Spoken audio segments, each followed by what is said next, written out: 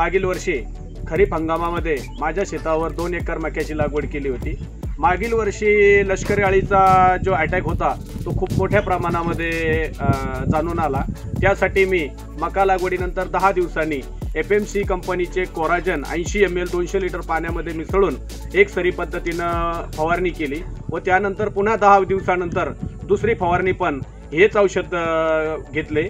त्यामध्ये सुद्धा ऐंशी एम एल कोराजन दोनशे लिटर पाण्यामध्ये थार्प लावून स्प्रे केला.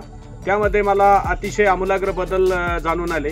त्याच्यामध्ये ज्या पानाची जाडी मक्याची एकसारखी वाढ व दांड्याची जाडी आणि मक्याचे जे दाणे आहे ते शेवटपर्यंत भरलेले आणि बाकी शेतकऱ्यांचे जे लष्करी आळीमुळे जे नुकसान झालं आणि उत्पन्नामध्ये जी तूट जाणून आली ती माझ्या पिकामध्ये जाणून नाही आली मला भरघोष उत्पन्न मिळालं. त्याबद्दल मी एफ एम सी कंपनीचा आभारी आहे.